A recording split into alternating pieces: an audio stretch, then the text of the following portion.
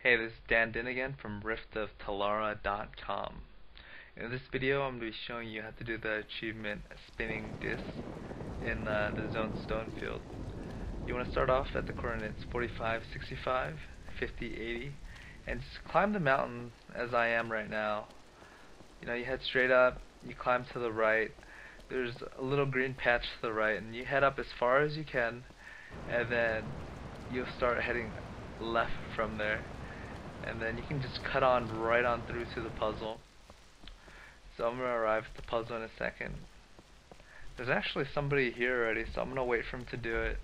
Uh, in the meantime, I'm going to explain to you how to do it. So basically there's like five lamps, okay? You want to light up all five of them in a specific order. And then there's a crank, and when you crank it, your treasure pops out is usually a random level 35 treasure. Um, it's not always the same, so I can't tell you for a fact. So I'm gonna let this guy finish first before I I can go. So it doesn't look like he's gonna do it, so I'm probably gonna give a chance at it. Okay.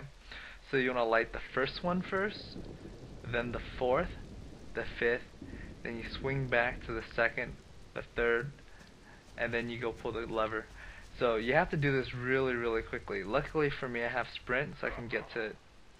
So you have about maybe two, three seconds of error. So if you're not good at clicking, you gotta get better at it. Or you need like a sprint or a, a leap or, or some sort. Okay, so I'm gonna click this last one right here.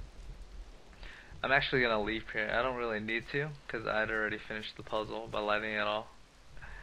So basically, it pops out, you get your treasure, free blue, all's good. Alright, that's basically it. You guys have a good day.